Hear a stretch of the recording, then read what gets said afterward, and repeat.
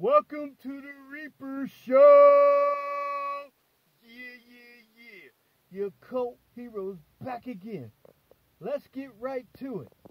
Both the Jays and the Pirates had uh, sad nights last night as the Jays got doubled up by the Reds 6 to 3. The Pirates lost to the Texas Rangers 4 to 3. And both of those matchups are again tonight.